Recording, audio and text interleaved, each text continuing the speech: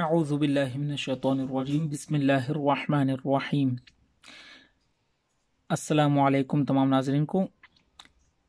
ये पिछले मरकब हरूफ का ही एक हिस्सा है, जो आप लोगों के सामने मैं आज आप लोगों को इस चीज़ की तोज़ी करवाऊँगा।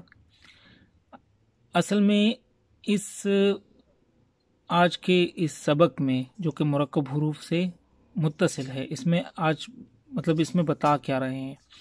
देखिए, आप लोगों के सामने ये मैं आप लोगों को बता दूँ कि ये वो हरूफ आपको बता रहे हैं जो लिखने में मुख्तलिफ़ होते हैं। लिखने में मुख्तलिफ़ हैं, लेकिन पढ़ने में एक जैसे होते हैं।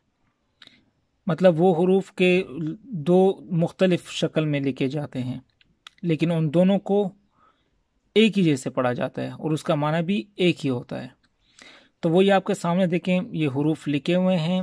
कौन कौन से हरूफ हैं? जीम, हा गैन आइन और गैन। तो ये टोटल पाँच हरूफ आपके सामने लिखे हुए हैं। इसमें क्या बता रहे हैं ये आपके सामने कि ये जब किसी के साथ, किसी हर्फ के साथ मिले हुए हों, किसी हर्फ के साथ मुरकब हुए हों तो ये अलग तरह से मिले, इस मतलब इनकी जो शक्लें होती हैं वो मुख्तलिफ़ हो जाती हैं। तो उनकी मुख्तलिफ़ शक्लों की वजह से बच्चे कंफ्यूज हो जाते हैं और वो इसको पढ़ने में पढ़ने में उनको दिक्कत होती है कि ये असल में है क्या। तो आपको मैं बता देना चाहता हूँ कि ये दो तरह के आप लोगों के सामने देखें बताए गए हैं। देख रहे तो इसमें देखें, ये ता और जीम, कुरान मजीद में ता और जीम इस तरह भी आता है और ये देखें, शोशा बना हुआ है। ऊपर दो नुकते हैं तो ये भी ता है और ये भी जीम। देखें शक्लें मुख्तलिफ़ हैं, लेकिन पड़ा एक जैसे जाता है ये, ठीक है? इसके बाद आगे ये बा का देखें। बा और यहाँ पर खौ।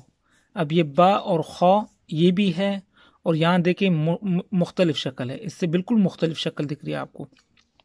यहाँ पर देखें एक शोशा बना हुआ है। ये छोटा सा शोशा देख रहे हैं? ये शोशा बना हुआ है और नीचे ये एक नुकता है। तो ये नुक्ता इस शोशे का है तो ये भी बा है। और ये हा बना हुआ है, हा की तरह, और हा के ऊपर ये एक नुक्ता आपको दिख रहा है। ये क्या है? ये खौ। तो ये भी बा, खौ है तो ये भी बा और खौ है। अपने जहन में ये ज़रूर रखिएगा। ये थोड़ा पेचीदा सबक है बच्चों के लिए, लेकिन इसको सीखना ज़रूरी है। कुरान मजीद में ताकि कोई पढ़ने में मसला ना हो। इसके बाद सौद हा, इस तरह भी हो सौद हा पढ़ा जाएगा। और अगर सौद हा इस तरह हो, तब भी सौद हा पढ़ा जाएगा। दो मुख्तलिफ़ शक्लें हैं, ठीक है? सीन आइन, इस तरह भी सीन आइन लिखा जाता है और सीन आइन इस तरह भी लिखा जाता है। देखिए, मैंने आप लोगों को पीछे ये समझा दिया था कि ये जो शोशा है, ये बड़ा हुआ जो शोशा है ब्लैक, ये पीछे से देखें, अगर ये लंबा होता और नीचे की तरफ़ होता इस तरह। देख रहे हैं? इस तरह होता तो ये फिर आयन नहीं होता, हा होता, ठीक है? लेकिन ये देखो, देखें आप, ये लंबा भी नहीं है, खींचा हुआ भी नहीं है तो यहाँ पर ये हानि कहलाएगा, क्या कहलाएगा? आयन कहलाएगा। ये देखें, अंदर से भरा हुआ भी है, ये भरा हुआ नहीं है। तो यहाँ पर सीन आयन, ये भी सीन आयन है और ये भी सीन आयन है। यहाँ पर देखें, बा गैन और यहाँ पर भी देखें, बा, गैन, आयन की तरह है या नहीं है? ये भी आयन की तरह है, लेकिन ऊपर एक नुकता है तो आयन के ऊपर जब ये नुकता आ जाए तो क्या बनेगा? गैन। बा गैन बा, गैन। इसके बाद यहाँ देख रहे हैं, नोट लिखा हुआ है, बाज बाज हरूफ एक से जायद शक्लों में लिखे जाते हैं। उनको जेल में लिखा जाता है। बच्चे को ये शक्लें समझा दी जाएँ। देखें, कुछ हरूफ हैं कि जिनकी शक्लें मुख्तलिफ़ हैं, लेकिन वो हरूफ जो है, एक ही है। पढ़ा भी, एक ही जाता है और कुरान मजीद में वो मुख्तलिफ़ शक्लों में आ जाएँ, लेकिन उसको मिलने के साथ तो उसका माने में भी कोई मसला नहीं होगा और वो, उसका माना भी वही निकलेगा, जो उसका माना है। अब देखें, यहाँ कुरान मजीद में तीन तरह के काफ आए हुए हैं, ठीक है?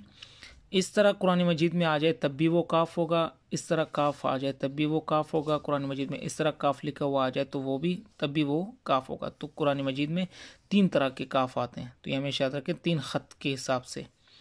उनको जिस ख़त में वो लिखा गया हो तो ये आप लोगों के सामने शक्लें दी हुई इसमें से एक शक्ल काफ की उसमें मौजूद होगी। इस तरह आ जाए, तब भी काफ होगा, इस तरह आ जाए, तब भी काफ होगा, इस तरह आ जाए, तब भी काफ होगा। दाल दो तरह के आते हैं।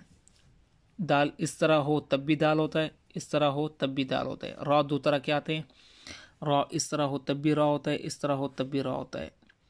लाम तीन तरह के आते हैं, देखें। लाम, देख रहे हैं, और अलिफ। लाम अलिफ, ये भी लाम अलिफ, ये जो है यहाँ से जो, यहाँ से जो मुड़ा हुआ है, ये लाम है, और इस साइड पे जो आया हुआ है, ये अलिफ है।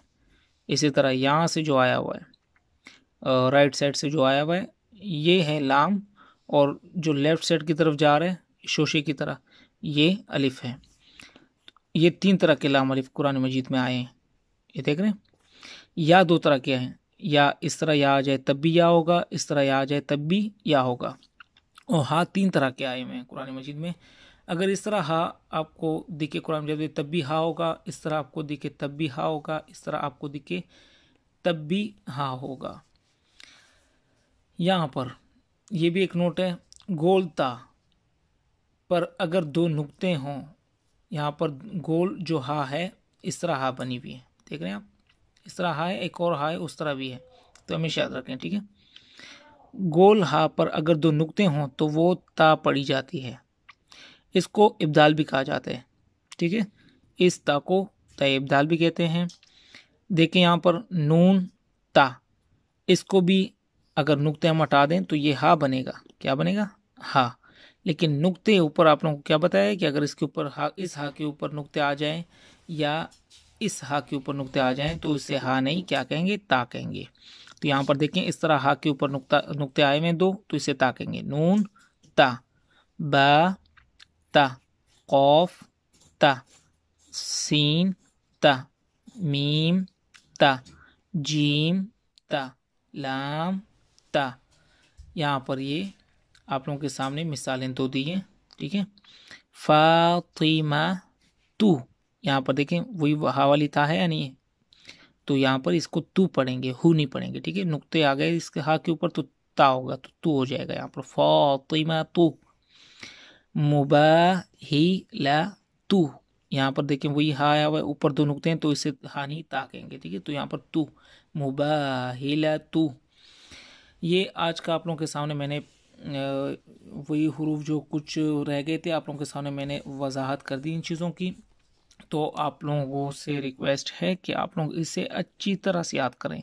अगर आप लोग इसे अच्छी तरह से अभी याद करेंगे तो और जहन नशीन कर लेंगे तो इन कुरान मजीद में आपको ज़्यादा दिक्कत करने का और ज़्यादा मुश्किल कर मुश्किल का सामना नहीं करना पड़ेगा। अगर ये अच्छी तरह से आपको याद हो जाए तो इन कुरान मजीद को आप अच्छी तरह से, रवानी के साथ अच्छी तरह से पढ़ सकते हैं। तो इसी के साथ अपना ख्याल रखिएगा, हमें दुआ में याद रखिएगा। इतमा से दुआ, अल्लाह हाफिज़।